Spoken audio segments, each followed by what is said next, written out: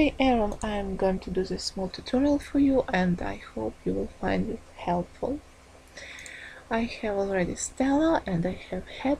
It's not Stu that you have in your assignment and it's not the same head, but I didn't find the same head that you have in your assignment. I hope that won't be a problem for you. So, I'm going to show you one trick because I did this constraint with the head a lot of time, a few time, I don't know how many time today because I tried to do it and yes, it was horrible and I understand that you're struggling in this. But I I find some way and I hope it will help you because uh, this is hard. Okay, uh, the first thing you need to do constraint twice. So the first time you need to constrain head and this hand. The second time you need to constrain feet, head and again the same hand. So it's impossible with the same object to do two constrain in one shot. I tried many times, believe me. So you need one trick as you're uh, doing this shot, you will do some tricks. You need two heads. Yes, one head, I have it already. I put it one layer and call it head one. Yes, and I'm going to amp and going take another head this head is bigger because I make this first head smaller 0.7 so 0. Point. Oh come on I'm not doing the same 7 yep and I will put this head another layer head 2. yep I have it uh, right now I don't need this head head 2. uh, so I will uh, make it not visible but before I want to key everything that I have. I'll select Stella, key Stella, select the first head, key, first head, select the second head, key the second head. And I will make it not visible and put it to reference. So that it wouldn't disturb me. Right now I'm working with my head 1. Okay, let's do constraint. Let it be frame 3 I noticed that you use FK mode to your shot and uh, I saw a lot of tutorial and a lot of people told that it's not possible to use FK mode to constrain. I know that is possible but in this case you should make constraint to skin and honestly I don't know how to do it. I show it a lot of time, I watch it a lot of time uh, in tutorials, but you should be good in rigging. You should find joint and make constraint to the joint. So it's it's hard. Better to do it uh, with IK mode. So we have frame, let it be frame 3, and in this frame, select all key all, we will switch to an IK mode. So we need another frame, the next frame. It must be the next frame. This frame you have FK mode, key selected, but the next frame you want to have IK mode. IK mode, key selected. So you start with FK, FK and then go to IK. Nothing happened with the animation, everything will be cool point sorry that would be frame 6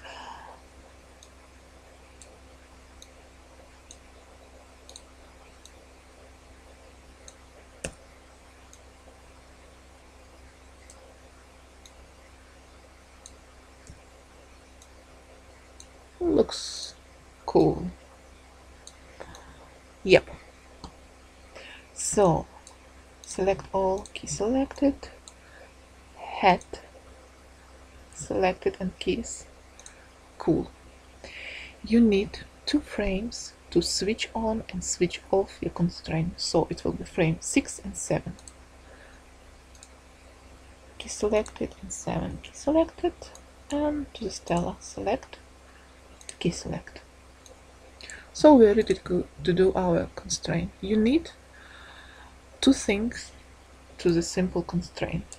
First thing it's locator create locator. It's tiny locator I'm going to do it bigger. Yeah. And I want to put this locator to our leading object. Our leading object is our hand. So I select hand then shift select locator then go constraint parent. And uh, I don't need it.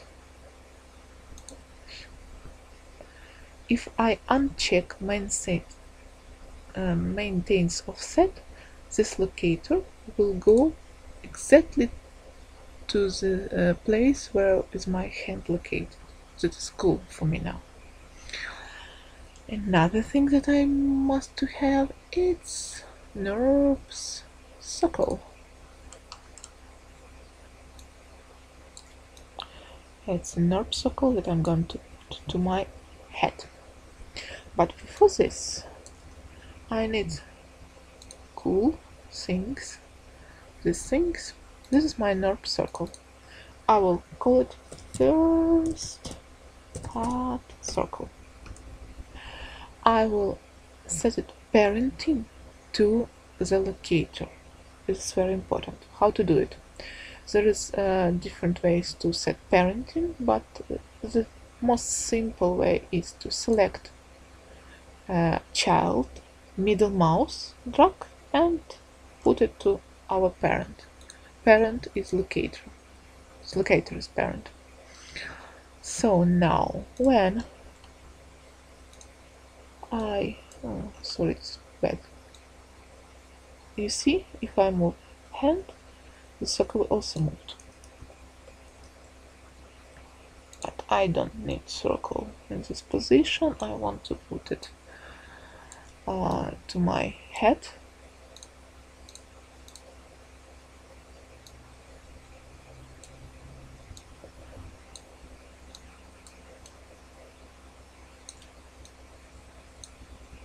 not so cool but let me. Be and I need to constrain this circle to my head.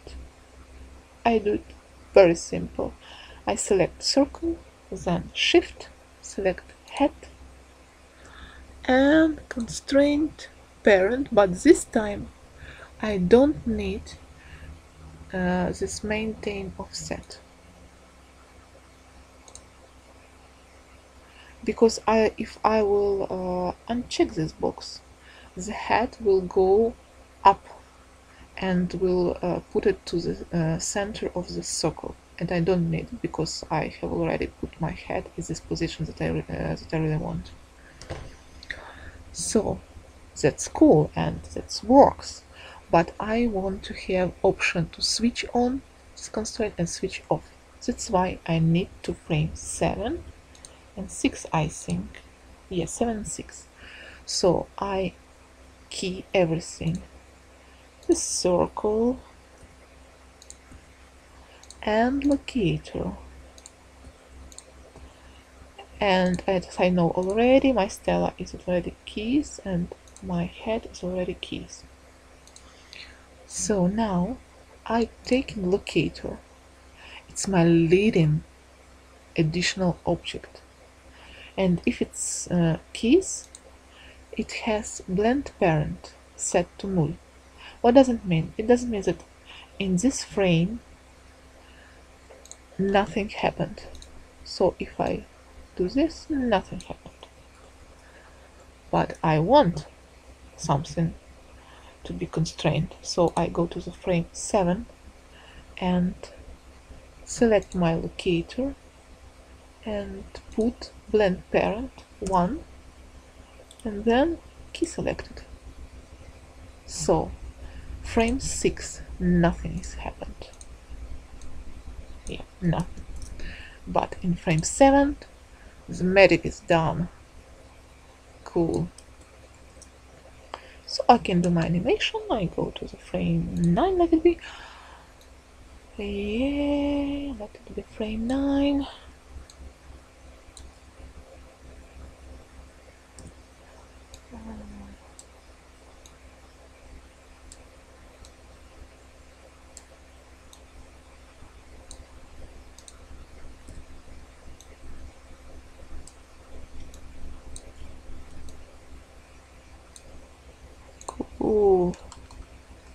I like it.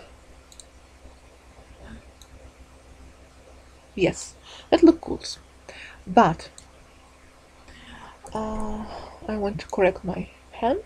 Yes, that's much clever way uh, to put my hand. But now I have problem with my head, and this is good thing with this constraint that I show you. You can easily make correction. What I need to do? I need to grab my circle. Yes, it's my circle. And then add a correction. Okay, cool. I like it more. So, in this way, S to selected, my head selected, and Stella selected. I forgot about locators. My locators is selected. And keys. Let's check our animation. One frame, nothing has happened. Frame 6, oh, not so cool. uh, frame 7, everything is connected, but it's connected. Uh, in this position that I did before. And in frame 9 you see this correction with the head is saved so I can easily do any correction without uh, ruining my animation. In every time if I need to do some correction here I will do it so for example I want to put my head in this position. So 6 in this position 7 in this position then up. It's exactly the same position as I left it before. Okay I'm going to switch off my constraint. So if you if you remember I need two frames for it. 9 and 10 I take my Stella, select all, keep all, print 10, select all, keep all. Same with the head. Oh, I crap nothing. S, frame 10, S. The same with locator. S and S. Same with circle, S and S. And I'm ready to switch off. Um, returning to the frame 9 as I see blend parent is 1 that's cool because I need uh, my constraint here but in frame 10 I don't need it so I put blend parent null key selected and I'm free. Yep cool. So is this in this frame everything moves together. But in this frame my hand is free free to decide. Okay chicken animation.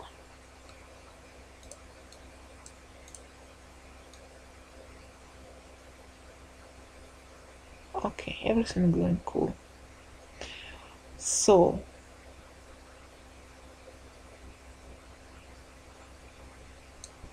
what I want to do? I want to to be the frame 10 this last frame where I need uh, my head one. What's the reason? Because after this I want to go maybe frame 12 animate something without my head and then return to the frame frame 14 and then animate with a new constraint. So I want to switch my head. I can do it on frame 10 where I don't need it or in frame 14 mm, Mm, I don't care what it be. It'll be frame 14 so I'm going to switch my head. How to do it? Very easily. Really easily. I make my second head visible and I want to put my second head exactly to the same position as was my first head. So how to do it? I select my first head, then shift select my second head, then constrain parent without maintain offset, add cool. Press S to save my heads both my heads and then constrain remove target. Remove target I remove constraint because I don't need constraint to the head head to head and now I don't need head to one I make it invisible I plane with head 2 just clear they don't have any constraint before so I can use it as I wanted Okay, making constraint. As you remember, we need two frames to put constraint on. Do it. Select all, key all, and to the frame 15, select all, key all. The same with our head 2. Select all, all, come on, that's not. Uh, S and frame 40, S. Cool. Uh, this constraint will be, will be hard because we need to constrain leg to the head and the, this head to the hand. Before this I forgot about this leg. I want to uh, put it higher. I'm trying to do this position that you do in your shot. Oh, it will be poor but let it be this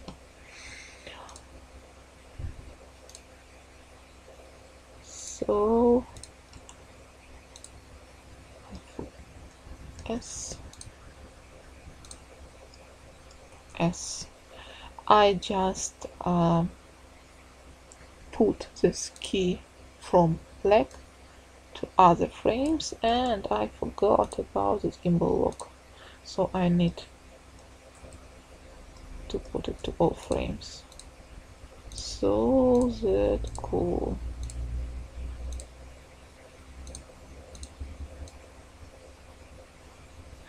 If you see we don't use this head before. That's why we don't have animation with this head but if I make it not visible and put the first head everything will be cool. So returning to our second head. Uh, I have everything ready. I need our constraint helper. First one is locator. Create locator. Make it bigger yep and locate this put this locator to my leg. So I will select leg then shift select locator and then constrain parent uh, maintain offset at yes cool. That works. I hope that works. I will check it. Yeah. Everything works cool. And I need two more. I need to circle. Create one circle for my head. And I want to put it exactly to my head. To do it very quickly. I must do this one I must select my head shift select circle then constrain parent then constrain remove target. Cool. So I have this NURBS curve but I put it exactly in the same position so I will make it big a bit. Okay to understand what curve I use. And I will name it second. Head. Curve and I need one more curve it's curve for our hand. Create. NURB circle. Small circle. And I will do the same. I will select my hand. Oh it's very hard to select. Then shift. Select circle. Then constraint parent constraint remove target. Remove target is very important because I don't want to constrain the circle to my hand. Remove targeting is removing constraint. So I have now uh, two additional circle that I want to be a child to my locator too. So I select circle middle mouse drag select circle middle mouse drag and I have this awesome parenting locator 2 is my parent and to circle a child. Cool and now the last part. Oh I'm tired really. I need to put parenting to all of this. I know that I have already parenting mode to my leg it is very hard to select and to locators. Yes I have and I need to const and this locator is also parent to our circle. So let's check it again.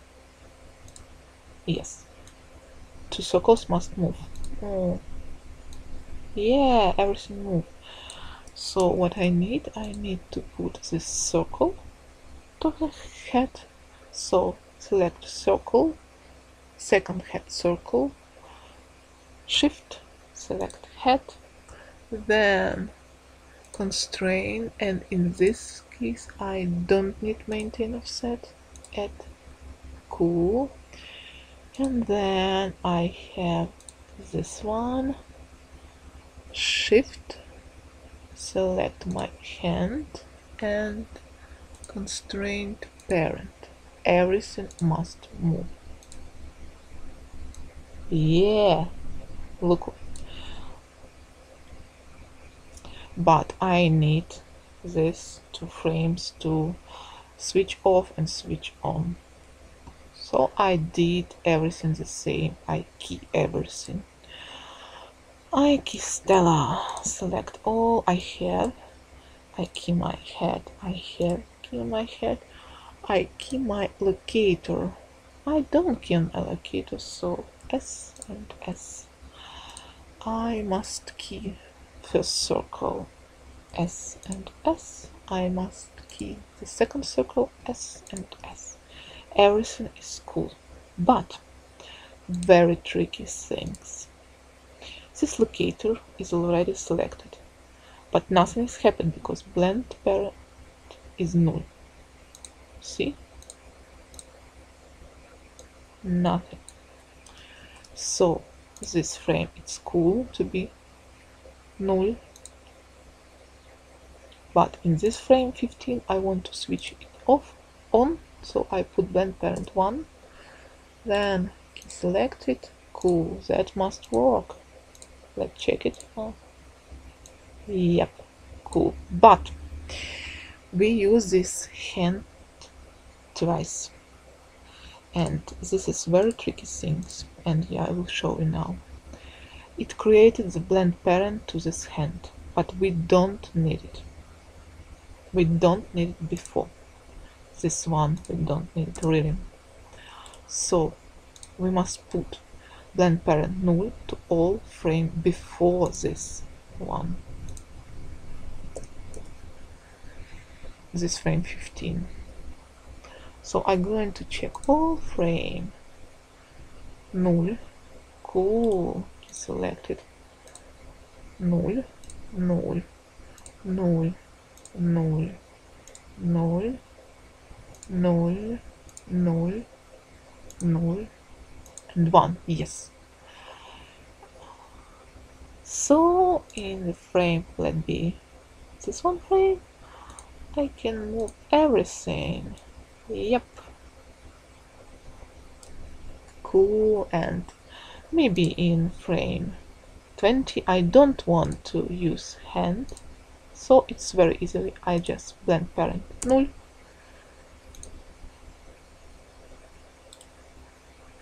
key selected. And I don't use it. So if you see this position I use it. I forgot to key everything because that's why. I will do smarter.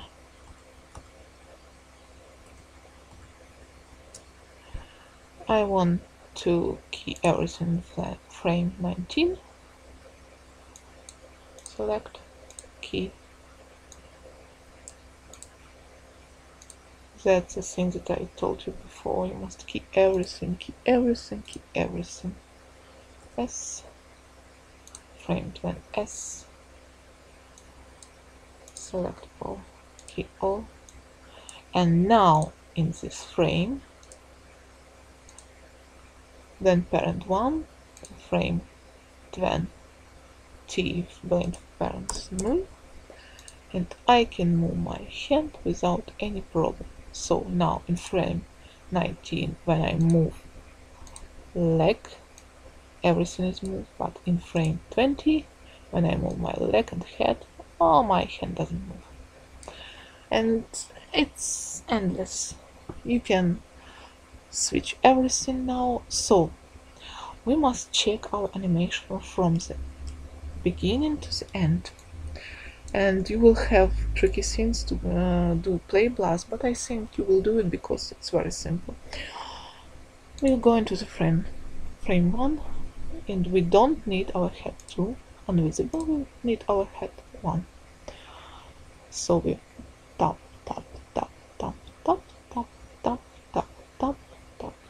and we use it until frame 14 so you can make play blast from frame 1 frame 14 and then switch your heads and then make play blast with head 2